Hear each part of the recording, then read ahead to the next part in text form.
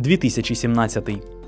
У лютому на Миколаївщині організували збір гуманітарної допомоги для жителів Авдіївки, де бойовики розпочали штурм українських позицій. За тиждень було зібрано і відправлено на схід кілька тонн речей, продуктів, медикаментів, будівельних матеріалів. Навесні 2017 року Міноборони розпочало реконструкцію полігона Широкий лан з обсягом фінансування 370 мільйонів гривень. Було заплановано спорудження 11 казарм з інфраструктурою для підготовки до 4 тисяч бійців.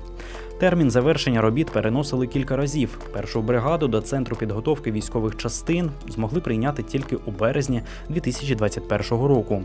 Із листопада 2019-го Національне антикорупційне бюро України і спеціалізована антикорупційна прокуратура здійснювали розслідування фактів розкрадання коштів під час будівництва на полігоні.